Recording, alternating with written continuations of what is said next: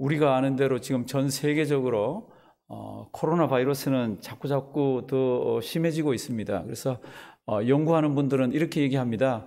어, 지금이 마지막 고비가 아니라 지금이 시작인 것 같다고.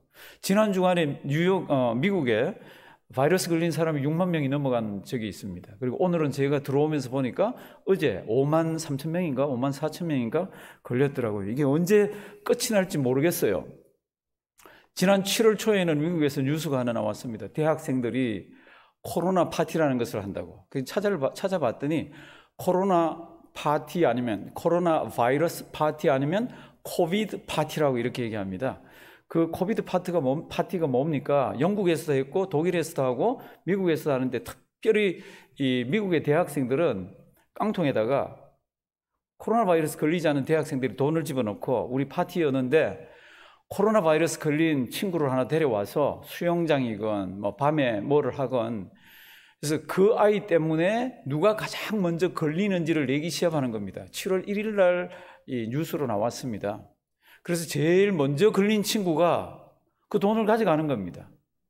참 세상에 이런 일이 그 아이들에게 물어봅니다. 왜 이런 일 하냐고. 그랬더니 막 깔깔 웃으면서 얘기를 합니다. 우리는 면역이 좋아서 괜찮다고. 성도님들 그 말 맞죠?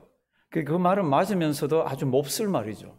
왜 그런가 하면은 그 말 속에는 사람의 생명의, 생명에 대한 경시 사상이 쑥 들어가 있고요. 그 다음 하나, 자기는 걸렸다가 면역으로 낫는 것은 뭐 괜찮다 치지만 문제가 뭐예요? 자기 때문에 연세 드신 분이나 기저질환이 있는 분이 옮겨지면 죽잖아요. 특별히 이번 코로나는 보니까 어, 당뇨가 심한 분들이 제일 많이 돌아가시더라고. 이게 아이들이 지금 이렇게 놀고 있습니다. 그런데 어제 11일이죠. 어제 뉴스에 그렇게 놀던 애 중에 하나가 바이러스 걸렸어요. 그리고는 죽었어요. 죽기 전에 이야기를 의료진을 통해서 하는 거다 아마 다 보셨을 거예요. 자기가 참 부질없이 못 쓸 듯 한 거를 후회한다고. 그런데 그 친구는 후회해도 늦었어. 죽었어요. 죽었어. 우리 교회도 젊은이들이 많이 계신데 어, 조심하시기 바랍니다. 뉴욕은 그래도 한 차례 지나갔다고 이제 느슨해져서 막 이렇게 다니는데 진짜 조심하시면서요. 우리가 나으면은 빨리 예배도 드리고 이 코로나가 다 지나가면은 주님께서 우리에게 맡겨주신 사명들 또 잘 감당할 수 있게 기도 많이 하시기 바랍니다. 우리가 지금 사도행전을 보고 있습니다. 제가 성경을 좀 찾아달라 그랬는데 우리 교회에서 단기 선교를 이렇게 나갈 때는 단기 선교 나갈 때는 제가 어, 선교 나가기 전에 회의할 때 같이 참석해서 같이 하잖아요. 그럴 때뭐몇 달을 기도하면서 준비하고 준비하고 준비했기 때문에 가서 뭘 할지 어떻게 해야 될지는 제가 얘기를 하지 않습니다. 근데 제가 담임 목사로서 꼭 신경을 쓰는 게 하나 있습니다. 그게 숙소예요. 숙소. 단기 선교는 일주일 동안 갔다 오잖아요. 아주 더운 날 막 하루 종일 땀을 흘리면서 제가 왜 숙소에 신경을 쓰나 하면은 하루 종일 일하고 숙소에 왔는데 샤워를 할 수가 없습니다. 왔는데 모기가 너무 달라들어요. 막 이런 사람들은 그 다음날 사역할 수가 없습니다. 아이고, 주님의 사랑으로 그 잠 못 자도 이겨내지 뭐, 이렇게 얘기는 할 수도 있지만, 우리가, 어, 준비를 할 수 있으면 준비를 잘 해서, 어, 그런 것들을 잘 이렇게 이겨내게 해야, 그 다음날, 어, 성교 사역이 잘 되어집니다. 이게 목사지만, 하나님을 믿지만, 목사가 숙소를 신경 쓰는 이유는 어, 주님의 사역이 더 효과적으로 되기 위해서. 제가 이 말씀을 제일 먼저 왜 드리나 하면요. 지금 우리가 이거 이제 사도 바울의 단기 선교팀들 흔적을 이렇게 보잖아요. 그죠? 이 사람들이 아시아에서 소아시아 지금 터키 있는 지역에서 이렇게 선교를 갑니다. 그 2차 선교 여행에 대한 계획을 다 짰습니다. 짜서는 이렇게 해서 북서쪽으로 해서 이렇게 올라갑니다. 아시아 지역. 그 당시에 아시아 지역. 지금은 아시아 아니고 터키 소아시아 지역을 하려고 이렇게 가는데 성경을 보니까 어느 날 성령님이 딱 막습니다. 이거 어떻게 해요? 할 수 없는 거죠. 그러면 이 길이 아닌가 보다 해서 북쪽으로 이렇게 텁니다. 그랬더니 성경을 보면 뭐라고요? 예수의 영이 막았다고 그럽니다. 성령님이 막고 같은 영이죠. 그래서 할 수 없이 올라가다가 다시 북서쪽에 데로 가서 저 위에 해안가에 있는 드로아라는 곳에 갔습니다. 그 드로아라는 곳에 가서 밤에 잠을 자는데 꿈의 환상 가운데서 마게도니아 사람, 유럽 사람이 한 사람이 이렇게 서서 이리로 건너와서 우리를 도와달라고. 사도 바울의 계획은 뭡니까? 아시아 지역을 참 복음화 시키기 위해서 이렇게 했는데 하나님께서 어디로 보내려 그럽니까? 하나님께서 유럽으로 보내려 그럽니다. 그래서 기도하면서 아 하나님이 우리를 유럽으로 틀었구나. 그래서 유럽으로 들어가서 첫 번째로 간 성이 어딥니까? 빌립보 성입니다. 우리가 다 알잖아요. 그 빌립보 성에 가서 사역한 게 성경에 기록되어 있습니다. 성경에 17장에 쭉 기록되어 있고 그 다음에 그 빌립보에서 무슨 일이 있었습니까? 거기에서 교회도 세우고 있는데 거기에서 귀신 들린 여자 하나를 점 잘 치는 여자 하나를 어, 귀신을 쫓아냅니다. 그러니까 점 교회가 떨어지니까 그 주인들이 이 복수형으로 되어 있죠. 그렇죠? 그 여자를 소유하고 있는 주인들이 수를 합니다. 그리고는 성경 말씀을 보면요. 앞뒤 정황도 없습니다. 그냥 얼마나 매를 많이 치고 깊은 옥에 갇혔는지 모릅니다. 그런데 밤에 이렇게 어, 지진이 나고 풀려나잖아요. 그 풀어졌으면 도망을 가야 되는데 성경을 보니까 그냥 가만히 있더라고. 그런데 그 가만히 있는 것을 통해서 간수를 전도를 합니다. 그게 이제 17장 앞부분에 되어 있고 그렇게 하고는 다시 그 지역을 떠나서 빌립보에는 이제 교회가 섰습니다. 어디로 갑니까? 아테네로 갑니다. 아테네는 다 알잖아요. 뭐 올림픽이 어쩌고 저쩌고 도 알고 거기 소크라테스, 플라톤 또 아리스토텔레스도 있는 것도 알고 거기 우리 중고등학교 다닐 때 에피큐로스 학파, 스토아 학파 이런 것도 다 주절주절 외웠던 거 기억나고 그게 아테네예요. 아테네로 혼자 지금 피해 가서 거기에서 자기 선교팀이 오는 동안 기다리면서 아테네 시내를 돌아다녀 보니까 그게 우상이 너무 많은 거예요. 막 속에서 분이 일어났습니다. 제가 이제 성경을 이제 펴달라 그랬으니까 17장 16절 한번 보십시오. 지금부터 굉장히 빨리 한번 보셔야 됩니다. 그러면서 1세기, 1세기 전 세계의 사람들의 관심이 뭔지, 그리고 하나님께서 1세기의 선교 문을 여실 때 그 지역들이 어땠는지, 17장 16절 보면 바울이 아덴에서 자기 선교팀을 기다립니다. 그래서 이렇게 다니다 보니까 온 성에 뭐가 있습니까? 우상이 가득합니다. 막 속에서 막 안타까움이 일어났잖아요. 그래서 어떻게 합니까? 안식일에는 유대인들을 만나고 평일날에는 일반 사람들을 만납니다. 그 일반 사람들을 만나려 그러면 어디 가야 돼요? 여기 저작거리라고 해서 아고라라는데 그런 장터에 가거나 아니면 여기에는 서로 논쟁을 벌이는 언덕이 있습니다. 거기 가서 막 이야기를 합니다. 그게 이제 16절부터 끝까지 이렇게 기록되어 있어요. 16절부터 끝까지 보면은 사도 바울이 전도 다니면서 이렇게 날개를 달고 펄펄 난 적이 없어. 이 사람 가말리엘 문화에서 공부를 어마어마하게 많이 했잖아요. 그리고 그 당시에는 다른 사람을 설득하기 위해서 수사학을 배웁니다. 수사학의 제1 목적이 뭡니까? 설득이에요. 그거를 무기로 해가지고요. 딱 누구하고 논쟁이 붙으면 이걸 막 해서 이렇게 말로 이겨내는 훈련을 다 한 사도 바울이에요. 근데 이 도시에 갔더니 그거를 좋아하는 사람이 너무 많습니다. 아까 소크라테스와 플라톤과 아리스토텔레스 제자들이 많다 그랬잖아요. 그리고 에피쿠로스 학파와 스토아 학파. 이 성경에 다 나옵니다. 18절 한번 보실래요? 이제 만나서 변론을 하는데 에비구레오 스토이고 그러는 이게 우리 역사 시간에 배운 에피크로스 학파와 스토아 학파입니다. 이런 사람들하고 만 논쟁을 하니까 이 사람들이 사도 바울에 대해서 뭐라 그러냐 그러면 오 이놈 말 잘한다. 그래서 16절 뭐라고 돼 있어요? 뒤 18절. 이 뭐요? 말쟁이가 이 말쟁이가 무슨 말을 이렇게 잘하냐? 그런데 그 내용을 보니까 뭡니까? 그러면 예수의 죽음과 부활이에요. 그러니까 이 사람들이 무슨 일이 말도 안 되는 소리를 하냐? 그리고는 논쟁이 막 붙는 겁니다. 그럴 거 아니에요. 이 사람들은 하나님을 모르는 이방인인데 부활이 어디 있고 뭐 죽어서 사는 게 어디 있습니까? 여기서 막 논쟁이 붙는데 성경에는 이런 말을 누가가 사도행, 사도행전 누가가 썼잖아요. 누가가 이런 말을 기록합니다. 아테네에 사는 사람들은 하루 종일 이 사람들이 신경 쓰는 게 있습니다. 그게 뭡니까? 그게요, 21절입니다. 굉장히 재밌는 말이에요. 모든 아덴 사람과 거기서 나그네 된 외국인들이 가장 새로 되는 것을 말하고 듣는 이 외에 뭐라고요? 달리는 시간을 쓰지 않았다고. The latest idea죠. 아니, 최근에 생각들이나 물건들이나 사상들이나 이런 거를 얘기하는데 시간을 쓰는 외에는 이 사람들 관심이 없다고 그럽니다. 그런데 지금 이 바울이 와서 뭐라 그러죠? 예수 이야기를 합니다. 그런데 뭐라고 얘기하죠? 그분 죽었다고? 그리고는 어떻게 해요? 살았다고 얘기를 합니다. 이게 이 말쟁이가 무슨 이 새로운 이야기들을, 무슨 이야기를 그러면서 막 논쟁이 붙어서 어떤 사람은 예수를 믿는 사람이 생기고 어떤 사람은 안 믿고 막 대적하고 이랬습니다. 이게 어, 아테네스의 어, 전도예요. 그런데 아테네 전도를 조금 하다가 얼른 그, 그 도시를 떠납니다. 사도 바울의 전도 중에 아테네같이 편하게 한 데가 없습니다. 여기는 환란도 없었고 핍박도 없었고 뭐 잡아 죽이겠다는 것도 없었고 그냥 자기 전공대로 논쟁만 하면 되는데 사도 바울이 여기를 얼른 떠납니다. 그리고는 어디로 갑니까? 고린도로 갑니다. 왜 얼른 떠납니까? 성경 말씀을 보면은 얼른 떠나는 이유가 있습니다.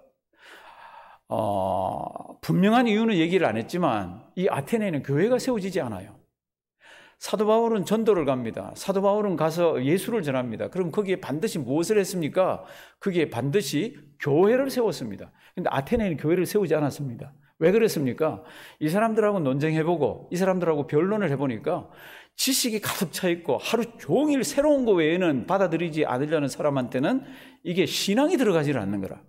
이들에게는 교회가 세워지지 않는 거라. 혹시 주변에 보셨어요? 너무 많이 알고 있고 너무 선하다고 생각하고 너무 잘 산다고 생각하는 사람은 신앙이 안 들어갑니다. 잘, 잘 받아들이지 않습니다. 그래서 이 사도 바울이 어떻게 합니까? 18장 1절 보면은 거기에서 남쪽으로 내려오면서 서쪽으로 조금 가면은 지금의 우리 롱아일랜드, 저 뉴욕의 롱아일랜드 같이 길쭉하게 생긴 반도 비슷한 게 있습니다. 그 보통 별명이 개미 허리라고 그럽니다. 그 뾰족하게 생긴 그 거기에 고린도라는 곳이 있습니다. 그 고린도는 이 아테네하고 분위기가 다릅니다. 아테네는 뭐 예술의 중심이고 학문의 중심이라 그러지만 이 고린도는 상업의 중심이고 장사하는 데 중심이고 교통의 중심이고 그렇습니다. 근데 거기는 양쪽으로 해안도 있, 이 항구도 있고 이래 갖고요. 여기 있는 사람들이 아주 거칠면서도 아주 장사하는 데 이가 밝은 사람들이에요. 이쪽으로 틀어 가지고 내려갑니다. 왜 거기 갑니까? 거기 교회를 세우려고. 근데 거기 가서 어마어마하게 고난을 많이 받고 힘든 일을 많이 당합니다. 그럼에도 불구하고 거기다 교회를 세워놓는 거 있잖아요. 이제 그게 18장입니다. 한번 보실래요? 우리 17장, 18장 이렇게 보시면 이 내용들은 우리가 어, 역사 시간에 한, 저, 중고등학교 역사 시간에 배웠던 지형들이나 그런 것들이 나오고 18장 1절, 사도행전 18장 1절, 이후에 바울이 아덴을 떠나 어디로요? 고린도에. 그 아덴하고 고린도 사이는 한 50마일 정도 떨어져 있습니다. 거기 고린도로 갔습니다. 어떤 마음으로 갔을까? 아마 굉장히 마음이 상심해서 가실 거예요. 아덴에다가 교회를 한번 세워보려고 그랬더니 이건 안 되는 거예요. 자기 배운 모든 지식을 다 통틀어서 펄펄 날면서 해봤는데 이게 안 되는 거예요. 그래서 어디로 갑니까? 고린도로 갔습니다. 고린도는 원래 더 어려운 데입니다. 더 어려운데, 이제 2절. 가서 하나님이 갔더니 두 사람을 딱 이렇게 준비를 했는데 이 두 사람 이름은 신약에서 제가 볼 때는 가장 이상적인 부부의 이름으로 등장합니다. 이 두 사람 굉장히 대단한 사람이에요. 그 사람들, 이 사람들 이름이 누굽니까? 브리스길라와 아굴라 들어보셨죠? 이름은 길지만. 아굴라라 하는 이 사람은 유대인입니다. 남자고 본도에서 난 유대인 하나를 만나니 글라우디오가 모든 유대인을 명하여 로마에서 떠나라. 제가 두, 두 번째 주일 정도 전에 이 어떤 로마의 어떤 황제가 유대인들하고 사이가 너무 좋아가 나빠가지고 유대인들 로마에서 다 떠나라. 로마의 직할 도시에서 다 떠나라 그래서 다 쫓아냈습니다. 이럴 때 이 브리스길라와 아굴라 이 부부가 로마에 살다가 쫓겨났어요. 그래서 어디 가서 살지? 그러다가 이 고린도 지역으로 이민을 온 거죠. 요즘 말로 하면은. 그렇게 와서 이렇게 삽니다. 그러면서 이 사람들이 누구를 만납니까? 사도 바울을 만납니다. 그래서 예수 믿었는지 안 믿었는지 모르고 많은 학자들은 로마에서 예수 믿고 왔다라고 얘기를 합니다. 그래서 이제 이 사람들이 3절 사도 바울하고 같이 사귀면서 전도를 같이 합니다. 그런데 굉장히 재밌는 표현이 3절에 들어 있습니다. 사도행전에는 2000년 전 교회 역사를 이해하는데 굉장히 도움이 되는 것들이 많이 있다 그랬죠. 이, 이 3절 말씀 보면요. 사도 바울하고 이 아굴라하고 어, 직업이 같습니다. 어, 사도 바울 선교사인데 무슨 직업? 어, 이 당시에 랍비가 가르칠 때는 전부 자기 제자들에게 성경도 가르치지만 직업 훈련들을 시켰습니다. 그럼 사도 바울은 무슨 훈련을 받았습니까? 텐트 만드는 훈련, 텐트 고치는 훈련을 받았습니다. 그래서 이제 성교 갔다가 먹을 게 떨어지면 그거, 그거 가지고 먹고 이렇게 하잖아요. 3절. 업이 같으므로 함께 거하여 일을 하니 그 업은 뭐 하는 거예요? 장막을 만드는 겁니다. 근데 이 아굴라도 텐트 만드는 텐트 메이커고 이 바울도 텐트 메이커예요. 그래서 이제 바울은 먹고 살 게 없잖아요. 그래서 아굴라하고 같이 먹고 살기 위해서 일을 같이 하는데 아굴라와 브리스길라가 예수를 믿는 사람입니다. 그러면서 바울을 얼마나 도와주는지 모릅니다. 한번 보세요. 유럽이라는 곳으로 하나님이 보냈습니다. 전도하라고. 가서 빌립보라는 것에서 얼마나 고생을 했는지 몰라요. 그리고는 어디로 갔습니까? 데살로니카로 갔습니다. 데살로니카로 갔는데 그 데살로니카에서 얼마나 고생했는지 몰라. 이 유대인들이 저작거리에 있는 불량배들 조폭을 동원해서 와서 때려 죽이려고 그랬잖아요. 그래서 밤중에 도망을 갑니다. 어디로 갑니까? 베레아로 갑니다. 그 베레아에 가서 가르쳤더니 성경은 베레아에 있는 사람들은 데살로니카에 있는 사람보다 뭐라 그랬어요? 더 신사적이었어. 더 마음이 너그러워서 말씀을 잘 받았다 그랬습니다. 그래서 말씀을 막 가르치는데 드디어 데살로니카에 있는 유대인들이 깡패들을 데리고 와서 베리아에 데려와서 바울을 죽이려고 그럽니다. 그러니까 바울이 또 도망을 가서 어디로 갔습니까? 아까 아테네로 갔어요. 이게 바울 마음 속에는요, 유대인 그러면 아마 경기가 있을 거예요. 유대인 그러면 트라우마가 있을지도 몰라요. 트라우마가 뭔지 알죠? 옛날에 무슨 사건이 하나 있었는데 이거 잊혀지지 않고 저 밑에 자리 잡고 있다가 비슷한 게 툭 나오면은 다시 그 충격이 되살아나서 정신적으로 헤어나지 못하는 게 트라우마잖아요. 그러니까 이 사도 바울에게는 유대인 트라우마가 있을 거예요. 우리말 속담에도 이런 거 있죠, 그렇죠? 자라보고 놀란 가슴 뭐 보고요? 예, 소뚜껑 보고도 엄엄엄엄엄 이렇게 하는 그 놀란다고 그러잖아요. 이게 사도 바울에게는 유대인 트라우마가 분명히 있을 거예요. 제가 볼 때는 왜냐하면은 루스드라라는 곳에서는 돌로 맞아가지고 이 사람이 유대인들 생각에 저놈 죽었다 그러고는 성 밖에다 내어 버렸습니다. 사도 바울을 유대인들한테 돌 맞아가지고 얼마나 그런 사건이 많은지 모릅니다. 그런데 이제 여기 고린도에 와서 이 사람들하고 이 업이 같으니까 이제 어, 사업을 하면서 선교하기 시작합니다. 사도 바울의 선교 전략은 제가 지난 시간에 한번 말씀드렸습니다. 사도 바울이 네 가지라 그랬습니다. 물론 대도시를 중심으로 하지만 네 가지인데 그 첫 번째가 안식일에 어디에서 회당에서 무엇 가지고 성경 가지고 어떻게 해요? 예수는 그리스도라. 외우기 쉽습니다. 다시 한번 합니다. 사도 바울의 어, 자기가 가지고 있는 네 가지 성교 전략. 전략. 첫째 언제요? 안식일에 어디에서 회당에서 무엇 가지고 성경 가지고 어떻게 해요? 예수는 그리스도라 이렇게 전도를 했습니다. 그런데 유대인들하고 논쟁을 할 때 첫 번째 세 가지는 유대인들하고 부딪히지 않습니다. 안식일에 회당에서 성경 가지고 논쟁을 할 수 있죠. 그럼 뭐 가지고 부딪힙니까? 예수가 Jesus is the Christ. 예수가 바로 그 그리스도다. 성경이 구약에서 얘기하는 그리스도라는 것 가지고 논쟁이 붙고 신성모독이라 그러고 때려 죽인다 그러고 그렇게 되어 있습니다. 그러니까 어, 사도 바울이 지금 이제 고린도에 와서도 이제 평일날은 그거 가지고 밥 먹어 밥 벌어 먹고 텐트 만드는 거로 그리고 어떻게 합니까? 이제 4절 한번 보십니다. 안식일마다 바울이 어디에서요? 회당에서 강론하고 무엇 가지고 강론하죠? 성경 가지고 구약 성경 가지고 강론하고 유대인과 헬라인을 권면하니라. 그러면서 뭐라고 권면합니까? 5절 말씀 보면은 신라와 디모데가 마게도냐에서 내려오매 바울이 하나님의 말씀에 붙잡혀 유대인들에게 뭐라 그러죠? 예수는 그 그리스도라. 이게 우리 성경에는 그가 빠져 있습니다. 예수가 구약에서 얘기하던 그 그리스도라라고 이렇게 밝히 뭐 한다고요? 증거합니다. 증거하기 위해서는 구약을 갖다 대야죠. 우리 옛날에 보면 6월절이라고 있습니다. 그때 양들을 잡아서 다 죽였잖아요. 그리고 피를 문에 발랐습니다. 그 6월절 양이 예수입니다. 이렇게 막 이렇게 가르치는 거예요. 그러니까 이 유대인들이 아주 화가 엄청나게 나는 겁니다.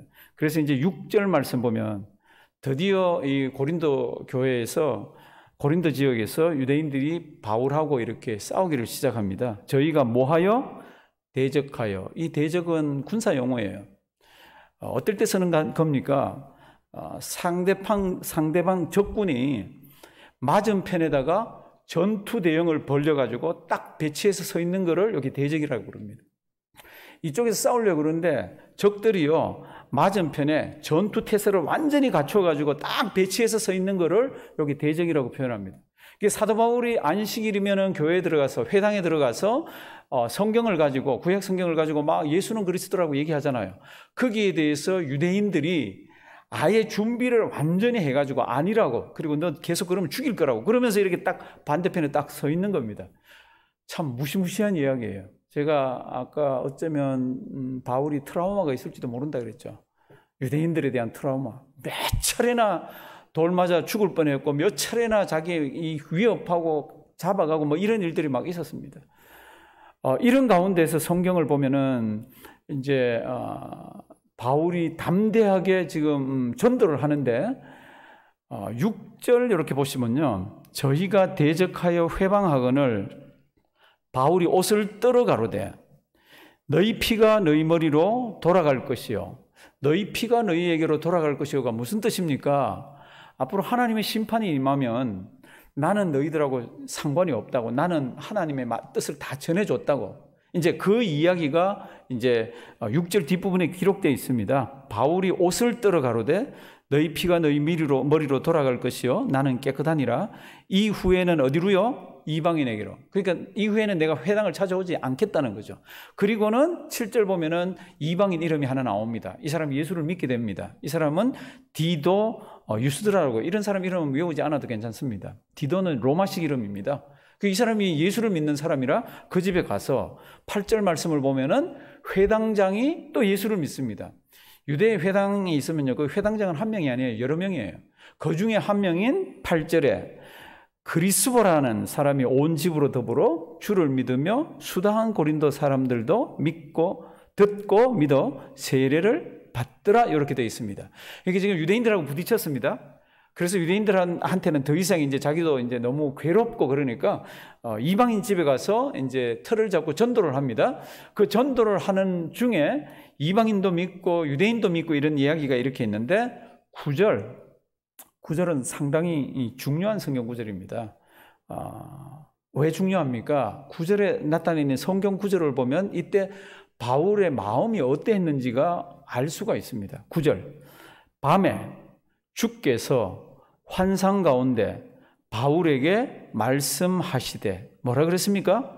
두려워하지 말며 어떤 성경은 do not be afraid any longer any longer가 붙어 있습니다. 이게 무슨 뜻이에요? 이제껏 고린도에 와서도 막 전가하면서 유대 인, 들하고 부딪히고 막 이러니까 뭐가 있었어요? 두려움이 있은 거지. 그 작은 두려움이 아니에요. 제가 볼 땐 트라우마가 될 정도로 큰 두려움이 있었습니다. 뭐 그러면 생각나서 어 경기하듯이 유대인들 그러면 두려움이 있어 가지고요. 지금 전도하면서도 마음속에는 늘 이렇게 갇혀 있는 겁니다. 그런데 주님이 밤에 나타나서 뭐라 그럽니까? 두려워하지 마라. 그리고 잠잠하지 말아라. 그리고 계속해서 말해라. 이 얘기를 지금 하고 있습니다. 왜 더 이상 두려워하지 말라, 말라 그럽니까? 계속 두려워하고 있으니까. 그런데 고린도전서 2장에 어, 보면은 사도 바울이 고린도에 왔을 때 자기 심리 상태가 어떠했는지 성경에 기록되어 있습니다. 앞에 나올 텐데요. 우리 가정에서 컴퓨터에 우리 나올 텐데 우리 성경 말씀 한번 보시겠습니다. 이 사도 바울이 하나님의 사도예요. 이적과 기사를 그렇게도 많이 베푸는 사람입니다. 주님의 뜻이라 그러면 물불을 안 가르쳤는데, 안, 가리, 안 가렸는데, 정말 유대인들이 많이 괴롭힙니다. 그래서 유대인들이 있는 곳, 그리고 그에게 해코지를 하려는 사람들이 있을 때는 심리가 이렇습니다. 고린도에 처음 갔을 때, 지금, 지금 고린도잖아요. 그죠? 고린도전서 2장 3절에 이렇게 했습니다. 내가 너희 가운데 거할 때에 약하며, 어떻게 해요? 두려워하며, 심히 떨었노라.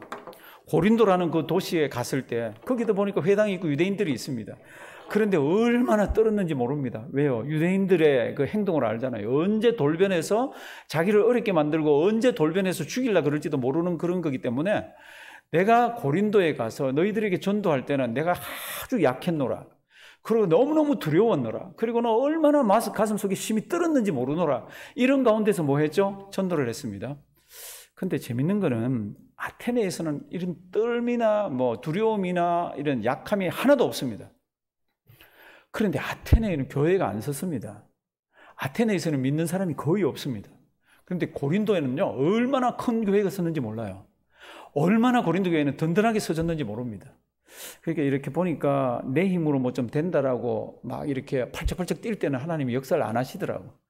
내가 얼마나 약하며 두려워하고 떨었는지 모르면서 하나님만 붙들고 이렇게 했더니 고린도에서는 이방인이 집을 열고 회당장이 믿기 시작을 하고 수다한 사람들이 막 믿어갑니다. 그럼에도 불구하고 자기는 약하고 두렵고 막 떨면서 이렇게 사역했습니다. 주님이 보다 보다가 뭐라 그럽니까? 밤에 환상 가운데 나타나서 Do not be afraid any longer. 더 두려워하지 말아라. 이유는 내가 너와 함께 한다. 그게 이제 9절과 10절이에요. 어, 9절, 10절은 성경 말씀만 잘 보셔도요, 참 은혜로운 말씀입니다. 9절, 밤에 주께서 환상 가운데 바울에게 말씀하십니다. 두려워하지 말며 잠잠하지 말고 뭐하라? 말하라. 사도 바울은 두려워하고 있었어요. 약하다. 내가 너무 힘들다. 여기서 사역이 될까? 또 도망가는 거 아닌가? 막 그러면서 이렇게 하고 있는데 환상 가운데 주님이 탁 나타났습니다. 우리도 이런 일이 있으면 얼마나 좋을 것 같아. 목사한테도 목회를 하거나 뭐 이렇게 뭘 할 때 참 힘든 일이 있거나 이러면 밤에 탁 나타나서 콩콩콩 내가 네 힘든 거 알지. 참 두려워하지 마라. 뭐 이렇게 하면서 주님이 나타나면 얼마나 좋아요. 사도 바울 정도 되면 매일 밤 나타날 것 안 같아요? 이렇게 전도를 다니는데 근데 성경 보면요. 사도 바울이 나타난 건 한 세 번 정도 그렇게 안 나타나십니다. 안 나타나시 그냥 말씀만 붙들면 되게 돼 있어요. 근데 오늘은 얼마나 두려움에 떨고 있는지 사도 바울에게 나타나셔서 두려워하지 말며 뭐요? 잠잠하지 말고 어떻게 해요? 말하라. 뭐를요? 예수는 그리스도라. 예수 외에는 구원의 길이 없습니다. 예수님만 우리의 구세주입니다. 이 얘기를 나가서 떠들면서 하라는 겁니다. 너무너무 무섭잖아요. 지금 두려워하지 말라 그랬는데. 그러면서 10절 말씀 보면은, 어, 내가 함께 하기 때문에, 10절 한번 보실래요? 두려워하지 말고, 잠잠하지 말고, 말하라. 나는 두려운데 어떻게 두려워하지 않을 수가 있습니까? 10절. 내가 너와 함께 있으며. 그거, 어, 연필이나 뭐가 있으면 조금 표를 한번 해 보실래요? 우리는 내 주위에 든든한 친구만 있어도, 부모님만 있어도, 뭐 아주 파워 있는 사람만 있어도 아주 든든할 때 있습니다. 그런데 한번 겪어 보십시오. 겪어 보시면 사람은 다 사람이에요. 아, 인생이 의지할 분은 누굽니까? 성경은 이렇게 얘기합니다. 나다라고 얘기합니다. 내가 너와 함께 있음에 아무 사람도 너를 대적하여 해롭게 할 자가 없을 것이니 이는 그 다음 뭐라 그랬습니까? 이 성중에 내 백성이 많음이라 하시더라. 제가 그냥 성경을 읽으면서 느낀 거는요, 사도 바울이 이때쯤 떠나려고 그랬던 것 같아요. 아, 고린도도 너무 힘들다. 그냥 유대인들이 날 또 언제 어렵게 만들지 모르니까 너무너무 힘들다. 여기 접자. 이렇게 해서 이제 떠나려고 그랬던 것 같아요. 그런데 주님이 밤중에 나타나서 뭐라 그럽니까? 두려워하지 마라, 더 이상. 그리고 잠잠하지 말고 말해라. 구원의 도를 전해라. 이유는 내가 너와 함께하고 어떤 사람도 너를 해하지를 못할 거고, 그 다음 뭐예요? 이 성 중에 내 백성이 많다. 너는 떠날라 그럴지도 모르지만 내가 입을 열면 구원받을 사람들이 여기 너무너무 많다. 그러니까 너는 트라우마가 있을지도 모르고 너는 힘, 힘든 일이 있을지도 모르지만은 너는 여기를 지켜라. 그래서 그 다음 성경 말씀 보면요. 아주 놀라운 게 하나 있습니다. 얼마 동안 더 있습니까? 11절 보실래요? 11절. 1년 얼마요? 6개월을, 18개월을 거기 더 있습니다. 1년 6개월을 유하며 그들 가운데서 하나님의 말씀을 가르치니라. 하나님의 말씀이 뭡니까? 요약하면 예수는 뭐라? 그리스도라. 예수 외에는 소망이 없습니다. 이 이야기를 주님께서 하게 하기 위해서 바울을 여기다가 자기는 두려워서 떠날까 싶었는데 여기다가 1년 6개월 동안 더 붙들어 놓습니다. 붙들어 놓은 이유가 뭡니까? 여기에 내 백성이 많다고. 참 기가 막힌 이야기가 성경에 기록되어 있습니다. 사랑하시는 성도님들 사도 바울의 이게 흔적들을 이렇게 보면은 정말 어려움 많이 당했습니다. 참 우리 이런 말 하죠. 우리 젊을 때 막 힘든 일이 있거나 이거 어떻게 이 일을 이겨내나 그럴 때 옆에 있는 어른들이 뭐라 그러죠? 세월이 뭐라고요? 약이라 그럽니다. 세월이야. 그때는 뭐 싫죠. 그런 말 듣기도 싫고 뭐 그런데 지금 가만 생각하니까 우리 그 약 많이 먹고 오늘날까지 건강하게 살잖아요. 그렇죠? 그 세월이 어떻게 약이 돼요? 세월이? 그러니까 어떤 이제 그 하나님께서 일반 은총을 준 어떤 학자가 왜 세월이 약이지? 이걸 가지고 연구를 했더라고. 그 사람 굉장히 유명한 사람이에요. 의학자기도 하고 심리학자기도 한데 그 세월이 왜 약이 되지? 그래서 이제 연구를 해봤습니다. 그래서 무슨 연구를 했나 그러면 어, 세월이 약이 되는 게 우리 이 육신의 어떤 메커니즘하고 어떤 관계이기 때문에 그 약이 되나? 세월이라는 것이 시간 지나가는 것이 그래서 이런 실험을 한번 해봤습니다. 어떤 사람들에게 사진을 보여주고 굉장히 충격적입니다. 그 충격적인 사진을 이렇게 보여줬더니 뇌, 뇌파 찍는 걸 다 해놓고 보여줬더니 뇌파가 막, 막 이상하게 움직이는, 움직이는 거예요. 그리고는 하루 종일 일하게 만듭니다. 하루 종일 일하게 만들고 오후에 오후에 그 그림을 사진을 다시 보여줬습니다. 그랬더니 그걸 보더니 또 깜짝 놀래가지고 뇌파가 똑같이 막 움직이는 거 있잖아요. 이제 그렇게 해서 한 군은 실험을 하고 또 한 무리는 실험을 했습니다. 무슨 실험을 했습니까? 저녁 때 이걸 보여주고 그랬더니 뇌파가 똑같이 막 이상하게 움직이는 겁니다. 그리고는 아침에 이걸 보여줬어요. 아침에 이걸 보여줬더니 어, 뇌파가 정돈이 좀 돼 있는 거 있잖아요. 똑같은 거를 보는데. 그래서 이 사람들이 내린 결론이 이겁니다. 아, 밤에 잠을 자면은 이게 해결이 되는구나. 이렇게 이제 결론을 내렸어요. 근데 연구하는 사람들은 거기서 끝을 안 내잖아요. 근데 밤에 잠을 잤는데 똑같이 뇌파가 오 그러고 놀라는 사람들이 있는 거라. 그래서 이제 잠잤던 사람들 이제 이렇게 이제 연구를 해봅니다. 똑같이 잠을 잤는데 저녁 때 이상한 거, 충격적인 걸 보여주고 아침에 충격적인 걸 보여줬더니 잠을 잔 사람들 중에 어떤 사람은 정리가 좀 된 사람이 있는데 어떤 사람은 똑같은 사람이 있어. 그래서 이게 왜 똑같은 사람은 왜 그렇지? 그러면서 봤더니 잠자는 게 좀 다른 거예요. 그래서 이제 이걸 또 한참을 연구해서 또 발표를 했습니다. 무슨 잠이 다릅니까? 뇌파가 정리가 되는 사람은 잠잘 때 보니까 꿈을 꾸는 사람들이라. 뭐 이상을 보는 그런 게 아니라 개꿈도 꾸고 왜 그런 거 있잖아요. 뭐 REM, REM이라 그래서 Rapid Eye Movement라 그래서 눈이 막 선잠들듯이 하는데 그때 꿈 꾸는 거. 근데 그런 꿈을 많이 꾸는 사람은 이게 안정이 되고 꿈을 안 꾸는 사람들은 이게 정리가 하나도 안 되는 거예요. 그래서 이 사람들이 또 결론을 내립니다. 무슨 결론을 내립니까?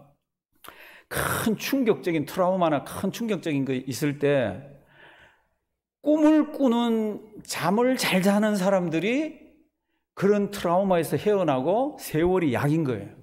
제가 왜 이야기를 합니까? 사도행전을 읽어가면 누가가 그런 시간을 가지면서 마음속으로 정리할 시간이 없어요. 2차 전도 여행을 다니면서 그 세월 가운데서 푹 잠을 자면서 자기 마음이 정리가 되고 세월이 약이 돼서 어제의 충격이 다시 충격이 아니고 이러면서 하나님의 일을 하고 이게 없어요. 그냥 쫓겨다니면서 참 풀 수 없는 문제 가운데서 가슴에 상처를 안으면서 주님의 일들을 하더라고. 그러니까 그 얼마나 고통스러워요. 심지어 고린도 지역에 가서조차도 이제 내가 너무 힘들어서 여기를 떠나야 되겠다고. 내가 이걸 이겨내질 못해서 내가 다른 지역에 가야지. 도저히 유대인들 때문에 이게 안 되겠다 그러고 있을 때 밤에 환상 중에 누가요? 주님이 나타나서 나는 아직까지 세월이 약이라 그러면서 속에 있는 게 정리가 안 됐는데 이, 누, 이 사도 바울 정리가 안 됐는데 주님이 털커덕 나타나서 그렇게 못하게 하는 거죠. 자기는 정리가 안 돼서 어떻게 해요? 자기는 떠나려고. 가슴에 상처가 있으니까. 이게 트라우마가 있으니까 떠날라 그러는데 더 이상 더 두려워하지 말아라. 그들을. 내가 너와 함께 한다. 사랑하신 성도 여러분들 사실은 이게 final 아니에요? 우리 속에 두려움이 있거나 풀 수 없는 문제가 있거나 해결되지 않는 게 있을 때 이거를 내가 어떻게 세월이 약이다 쪽으로 하든지 아니면 뭐 권력을 동원하든지 돈을 동원하든지 어떻게 해서라도 해볼 수 있는 이게 아니라 내가 너와 함께 함이라 그 한마디면 다 되는 거 아니에요? 그랬더니 사도 바울이 어떻게 합니까? 사도 바울이 18개월을 고린도에 더 있으면서 더 이상 두려워하지 않으면서 나를 구원해, 자기를 구원해 주신 예수를 그에게 전해주더라고요. 고린도 교회에 얼마나 피를 토하는 그런 노력을 많이 했는지 모릅니다. 고린도 전후서를 보면요. 사도 바울이 고린도 교인들에게 토해내는 그 이야기들이 얼마나 대단한지 모릅니다. 사랑하시는 성도 여러분들, 오늘도 우리는 뭐 코로나 하늘이 구멍이 났다든지 뭐 지진이 난다든지 화산이라든지 인류가 어떻게 되는지 모르겠다든지 얼음이 자꾸 녹아서 지금 해수면이 높아진다든지 이런 소문들이 많이 들려옵니다. 어떻게 살죠? 방사능은 어떻게 하고? 어, 우리는 그렇게 걱정할 거 없습니다. 뭐 죽으면 뭐 죽는 거죠. 그런데 성경은 이렇게 얘기합니다. 내가 너와 함께 하시면 어, 시편 23편을 보면은 한 평생을 다 살은 다윗이 우리가 다 외우는, 외우는 시편을 고백하면서 이렇게 얘기합니다. 내가 사망의 음침한 골짜기로 다닐지라도 해를 두려워하지 않을 것은 그다음 뭐예요? 주께서 나와 함께 하심이라. 사망의 음침한 골짜기가 뭐예요? 너나 없이 다 겪는 겁니다. 아, 목사라고 안 겪고 장로님이라고 안 겪고 뭐 피아노 친다고 안 걷고 없습니다. 다 사망의 엄침한 골짜기를 겪습니다. 사망의 엄침한 골짜기를 다 겪지만 다윗은 이렇게 얘기합니다. 하나님, 그때 저는 부족함이 없었습니다. 이유는 당신이 나의 목자시였고, 이유는 그때도 당신이 나와 함께 계셨습니다. 이게 다윗이 고백이에요. 직, 직장 생활을 하건, 성교를 다니건, 하나님의 백성들에게는 내가 너와 함께 한다는 이것만 있으면 우리의 어떤 사명이라도 다 감당할 수가 있습니다. 우리 성도님들에게 부탁드립니다. 지금은 시간이 많아서 이런 일 저런 일도 많이 해보지만 우리 가슴은요, 잠을 실컷 자도 허전하고요. 드라마 실컷 봐도 허전하고요. 먹고 싶은 거 실컷 다 봐도 허전합니다. 왜 허전합니까? 우리 가슴은 사이즈가 드라마 사이즈, 돈 사이즈 이게 아니에요. 우리 우리 마음은 하나님 사이즈입니다. 성경을 보면 내 너는 하나님이 뭐라 그랬죠? 성전이라 그랬습니다. 그러니까 우리 사이즈는 하나님이 계셔야 사이즈가 차지는 사이즈지 세상의 돈이나 세상의 것들 가지고 차지는 그런 가슴들이 아닙니다. 오늘도 이 말씀 잘 기억하길 바랍니다. 주님께서는 이 성 중에 내 백성이 많아서 그들이 복음을 듣고 주님 앞으로 돌아와야 되기 때문에 내가 이 성을 떠날라 그러고 두려움이 있어도 너 떠나지 말아라. 내가 함께 한다. 사랑하신 성도 여러분들, 우리가 사는 이 주변에도 하나님의 백성이 많이 있습니다. 내가 얘기하지 않으면 예수 이야기를 죽을 때까지 듣지 못하는 사람이 있습니다. 누가 이야기해야 됩니까? 성경은 이렇게 얘기합니다. 입이 주춤주춤거리고 나 전도 잘 못해. 나 나는 그런 거 못해. 그런 자를 들어서 내가 믿는 예수를 한번 이야기해 보라고 그럽니다. 주님께서는 그런 자들의 입술을 통해서 하나님의 백성들을 주님의 품으로 불러 모아 주십니다. 우리 이렇게 힘들 때 주님 함께 계심을 믿으시고요. 주님 함께 계시기 때문에 우리 이 시기를 잘 넘어갈 수가 있습니다. 이 시기 넘어가면서 주변에 있는 하나님의 백성들 또 전도하시면서 그들에게 복음을 전하는 우리가 되기를 주님의 이름으로 부탁드립니다. 살아계신 하나님, 참 부족하고 연약하고 더럽기 한량없는 우리들을 주님 앞으로 주님 믿게 해 주셔서 주님의 백성 삼아 주셔서 감사드립니다. 죽을 때까지 감사한 일이고 어떤 일이 있어도 감사한 일입니다. 하나님 우리가 살면서 때로는 싫은 일도 때로는 어려운 일도 때로는 참 상처받는 일들도 우리에게 있을 수도 있습니다. 하나님 인생은 다 그런 겁니다. 사망의 음침한 골짜기처럼 참 앞뒤 좌우가 꽉 막혔을 때 하나님 위를 볼 줄 아는 우리 되게 해 주시옵소서. 하나님 아버지 우리 상을 당한 가정이 있습니다. 또 병원에 입원해서 어려운 가정들도 있습니다. 하나님께서 주님께서 친히 신방해 주시고 마음의 위로를 더해 주시옵소서. 귀한 시간 주심을 감사드리옵고 예수님의 이름으로 기도드리옵나이다. 아멘.